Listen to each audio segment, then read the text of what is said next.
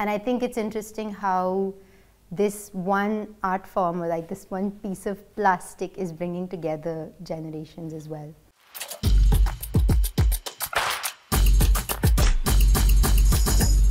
So, you know, hula hooping, it's a story from the 60s. Yes. And it's a story that every time I tell a, slightly older friend, I was like, oh, you know what? I, I watch Eshna and sometimes try my hand at hula hooping. She's like, oh, you know, we guys used to do it back in the day.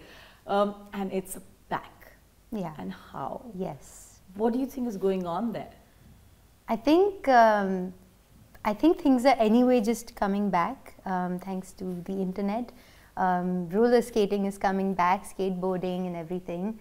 Um, but I, I, I do believe that hula hooping was a lot more popular among the women in the 60s, 50s, um, especially Americans. And, um, and I think I noticed that also in my workshop because um, I either have like children coming in, like eight, nine year olds, or like women in their 60s.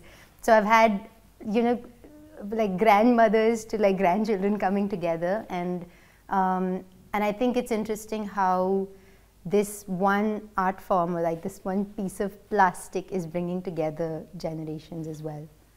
I love that. Yeah. It's also beating stereotypes. Yes. How?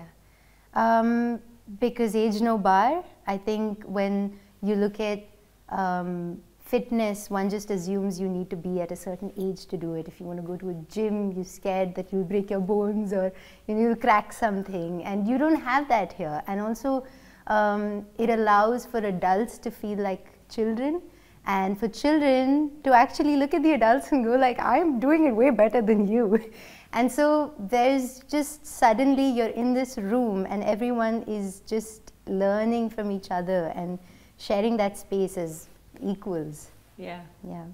It's also very sexy. Yes. that helps. I think I think it's sexy for those who can genuinely love their bodies and it's it can also be massively awkward for those who um, have a low body esteem and I think that's it's a good doorway to actually start to feel more confident and feel more comfortable in your skin as well.